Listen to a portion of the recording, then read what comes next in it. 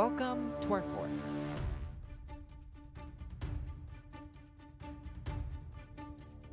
A great treasure has gone missing. Did you take it? No.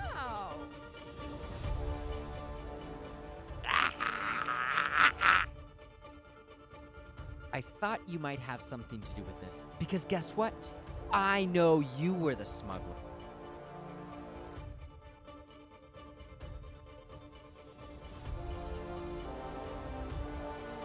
Detective Gray at your service.